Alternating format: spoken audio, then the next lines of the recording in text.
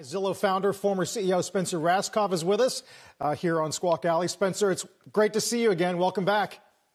Thanks, Carl. Great to be here, virtually.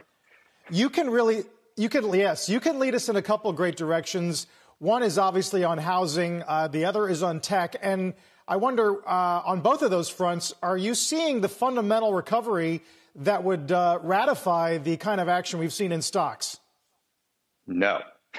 Um, you know, frankly, to me, the, the, the market rally seems far ahead of itself uh, as compared with the underlying fundamentals of the economy from where I sit. And it, it, I understand why, right? The Fed has flooded the market with liquidity. Interest rates are so low, so in, institutional investors have reallocated out of uh, out of fixed income into equities. Um, but if you're a, a, the average American sitting at home who, on average, doesn't own stocks, you've got to be saying to yourself, this disconnect makes no sense. And it's just further evidence that the game is rigged somehow, that this disconnect between Wall Street and Main Street is, is somehow untenable. Um, the underlying economy seems to have a lot of weakness to me. I, I don't trust um, this the, the last jobs bounce that we saw last week. Um, and, uh, and the market rally just seems far ahead of itself.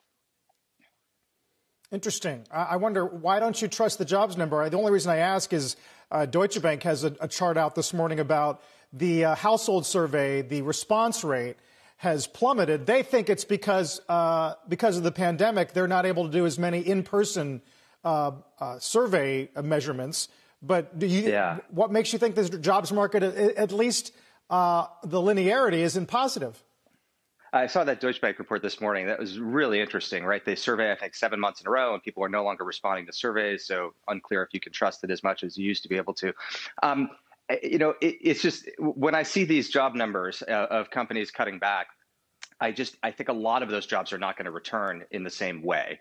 Uh, companies are adjusting to the new normal. They're finding that they you know, those that have reduced by 10, 20, 30 percent their headcount They've cut projects that they weren't working on previously, and the companies are still doing okay, and they're going to find that they're much more profitable. So some of those jobs obviously are going to come back, but I, I think um, I think there's going to be kind of a structural reset in terms of at least in, in the sector that I focus on, which is tech, um, which is going to which which belies the market rally.